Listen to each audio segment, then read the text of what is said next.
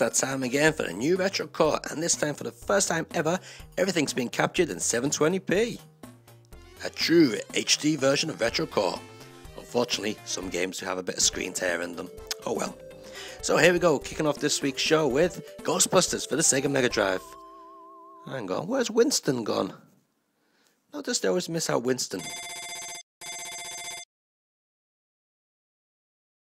So our Ghostbusters get the call to go and save some poor unfortunate woman from her house being completely overrun by ghosts. Oh, she's having sleepless nights. Poor lady. So you can select which Ghostbuster you want to go. I've gone Peter since he's the all-round um, balanced guy.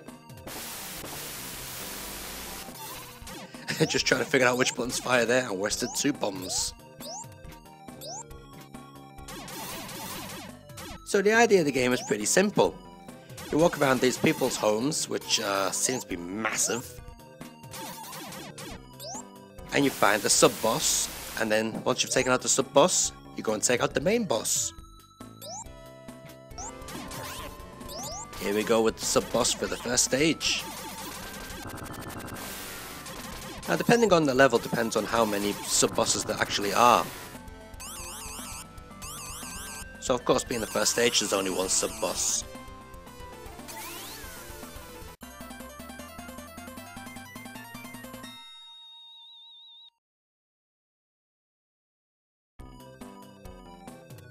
Okay, so on to the main boss we go.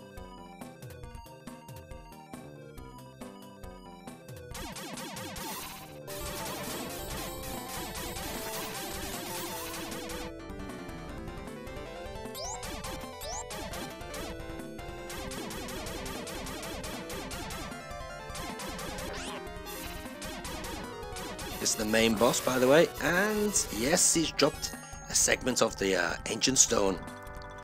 Of course, you need all these segments to get to the final boss of the entire game. So once you've cleared out a house of all the ghosts, you go back to the Ghostbusters HQ, get a bit of a story, and then visit the shops.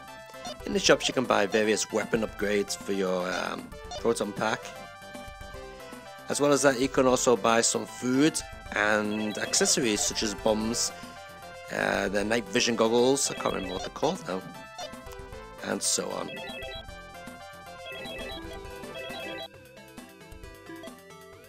Also, from completing the first stage, you can now choose what stage you want to go to next, which is very handy.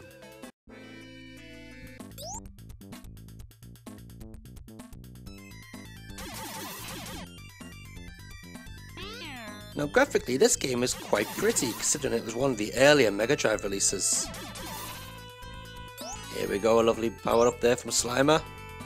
He's a good boy, isn't he?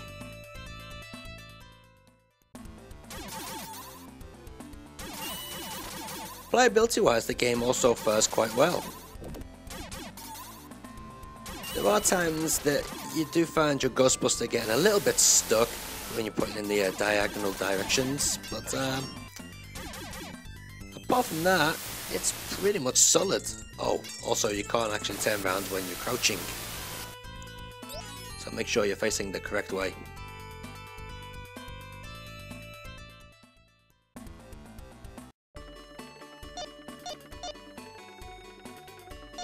Right, I think I better uh, equip my bubble gun and a bit of Peking duck would go nicely as well.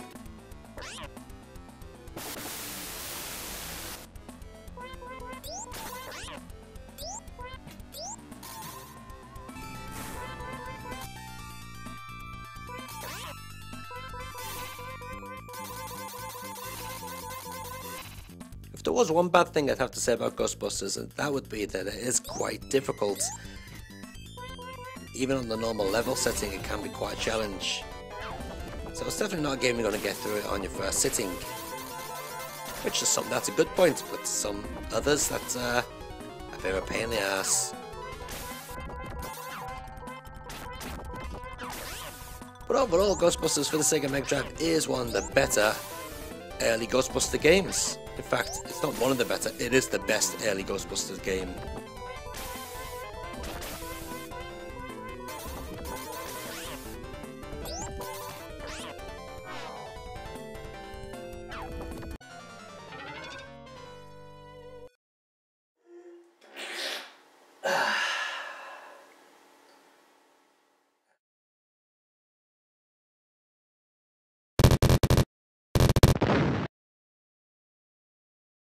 Oh boy, we got some real shit for you today. D-Force or Dimension Force as it's known in Japan for the Super Famicom. What a fucking heap of shit this is.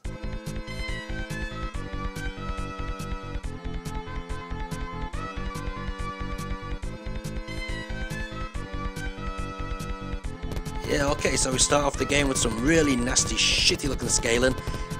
And as the shitty scaling scales out, we get to see even more shitty looking sea.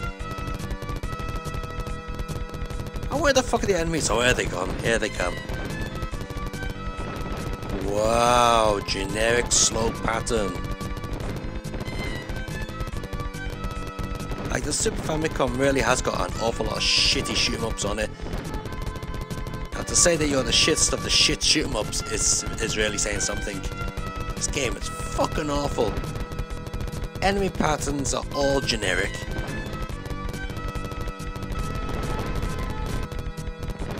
Fact, talking about the enemy patterns, they just repeat and repeat over and over again. And there's no thought gone into them whatsoever. They're just throwing it, throwing onto the screen. Like, look, what, what the fuck? It's just like a clusterfuck of bloody projectiles coming at you from nowhere, just from everywhere. It's just a fucking joke.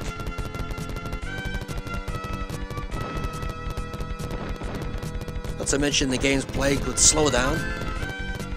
Now what the hell are they? Ice cream blobs?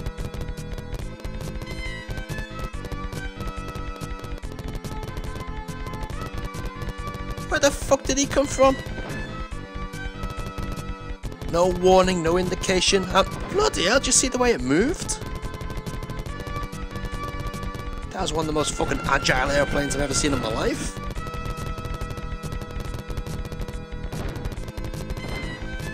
So anyway, here we are about three minutes into the same first bloody level. Still not up to the boss. Oh, hang on, music change. Cheesy shit music. Ah, I take it this is the boss. Shit, a lot of thought must have went into that. Jesus.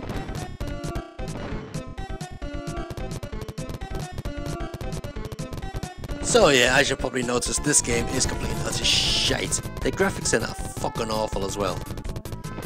This is actually the second stage, uses the same water from the first stage, and believe it or not, the third stage is actually the first stage, but a different colour and a slightly rearranged background. And also on the second stage, with no warning whatsoever, you're now able to use the L and R triggers to zoom the screen in and out to shoot things in the distance. Fucking whoopie do. The game doesn't tell you that, you just sort of accidentally press the L trigger or the R trigger and the screen zooms and that's how you figure it out. Just look at this boss, doesn't fucking do anything. Yep, D-Force. The shittest shit 'em up on the Super Famicom. Fucking crap.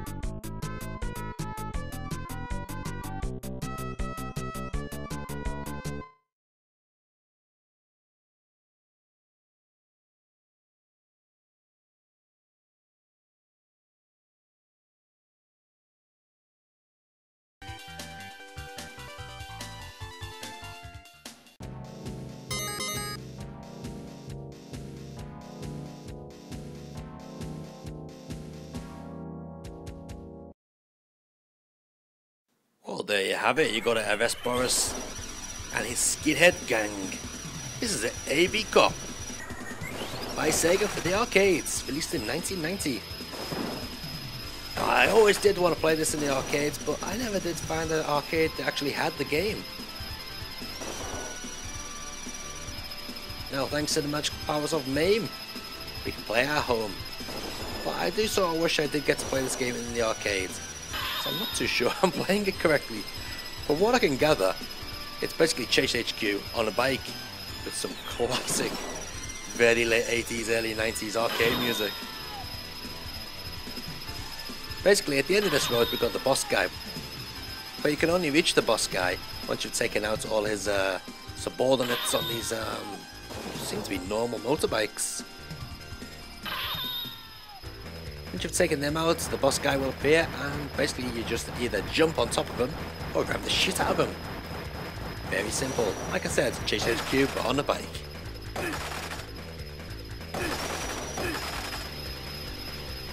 typical classic early 90s Sega arcade, something that should have been ported to the Sega Saturn. In fact, they could have released so many of their arcade games for the Sega Saturn, but they never did. So many great classics from Sega.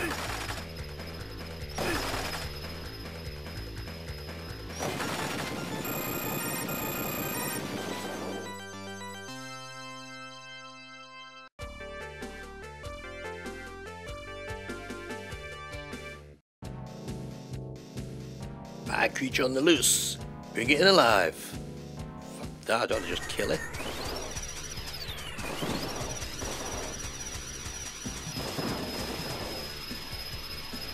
Now it may look like the game's dropping a lot of frames, but actually the game moves that fast.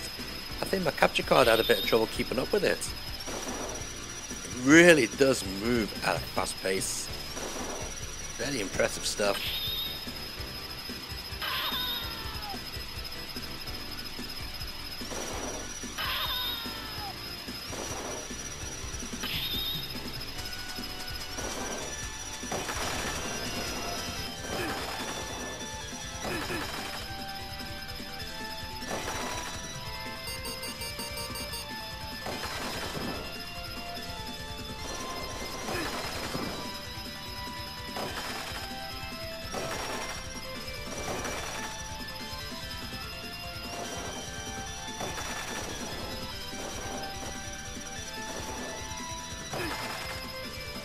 So if you're a fan of Chase HQ, I certainly do recommend giving AB Cop a bit of your time.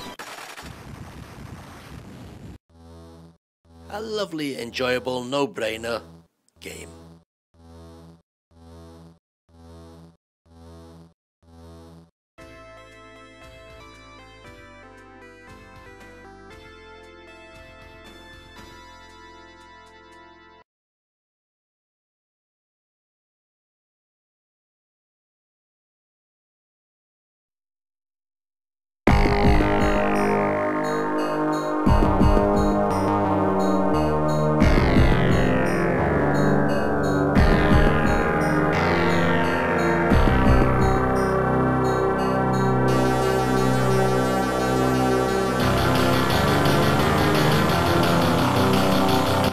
So here we go, starting off a brand new feature for Retro Core.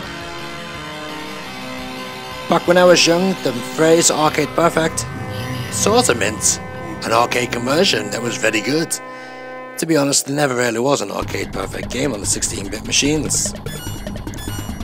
So today we're going to take a look at just how developers translated arcade games to the 16-bit platform. taking a look at Ghost Chaser Densei for the uh, Super Famicom, very rare beat 'em up, which is based upon Denjin Makai, which is actually the exact same game, considering it's got a different name.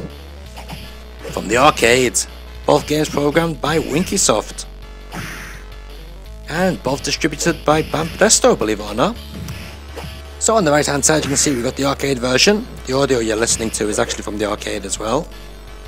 And the right hand, uh, the left hand side we've got the Super Famicom game.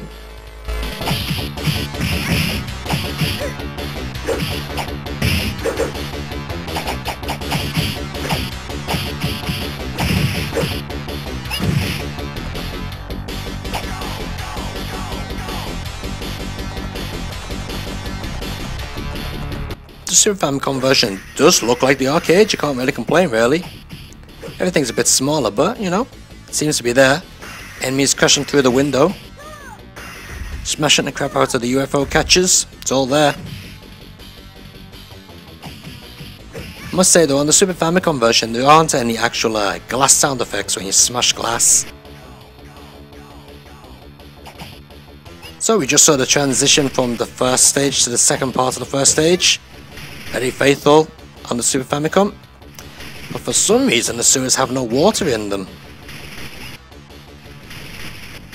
Probably down to a lack of memory space again on the cartridge.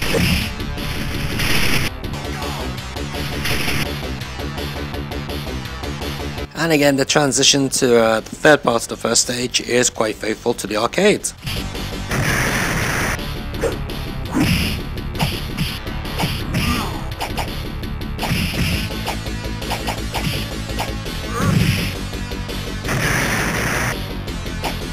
You would notice that on the um, actual character select screen, the arcade version of the game, it has six characters, whereas the Super Famicom version's only got three. And unfortunately, one of my favourite characters, the purple-haired woman, is actually missing from the Super Famicom game. Major bummer.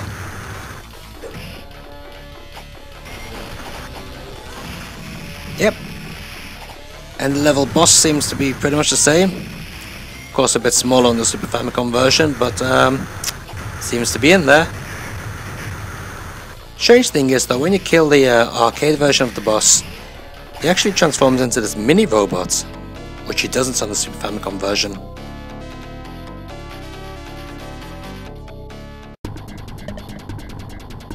Another interesting thing missing out the Super Famicom version is the ability to choose your next stage.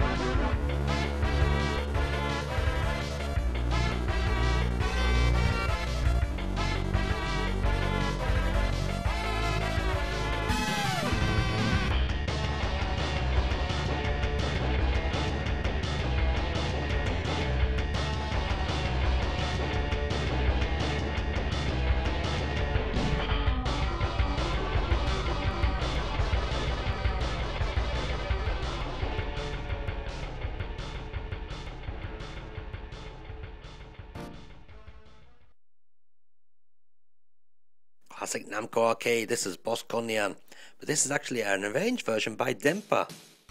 Denpa being the people who make those lovely XRGB boxes, now known as uh.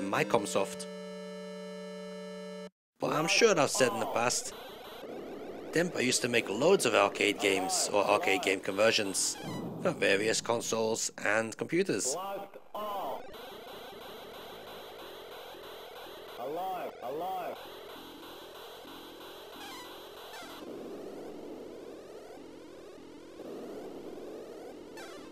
So Denpa have given us the original game. Yeah. Fairly basic. Pretty good fun. The idea of the game is to take out all the enemy bases, which you can see as the little blue dots on the uh, purple, purple looking uh, map to your right hand side. Take out all the enemy bases and it's uh, mission clear. Obviously, Denpa thought that the original arcade was a bit plain, so they've given us these rearranged versions, which feature some fantastic quality soundtracks. Oh man, I do miss these classic chip tunes.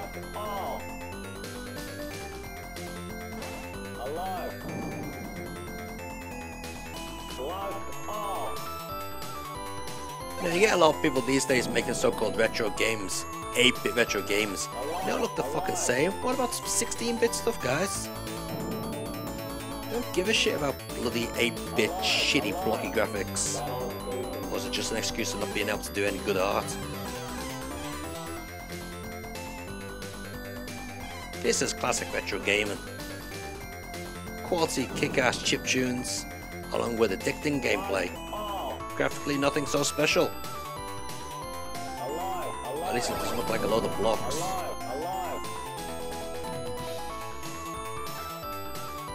I can see the more you progress into the levels, the more difficult it becomes.